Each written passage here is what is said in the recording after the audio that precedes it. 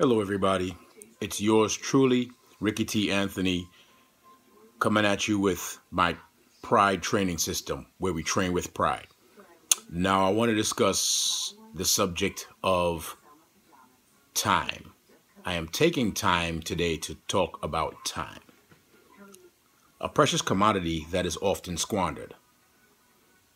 You could make time, take time, get time, lose time, find time, give time, take time. You know, can I have some time? Can you offer me some time?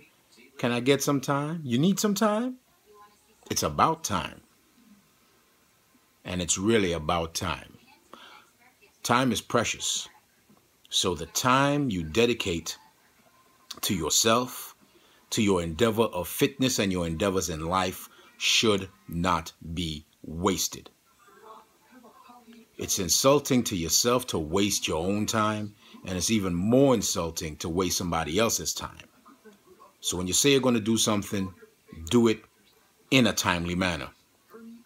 Put your best foot forward, put the work in in whatever it is you do. Your daily job, time with the kids, time with the husband, time with the wife, time in sports, time in health and fitness. That's an important one. Okay, because what they what they always uh, say,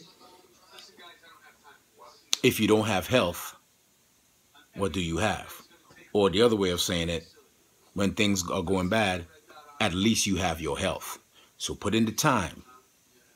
It's about time you take time to give yourself some quality time.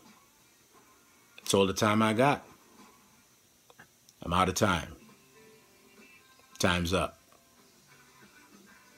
Time to train with pride.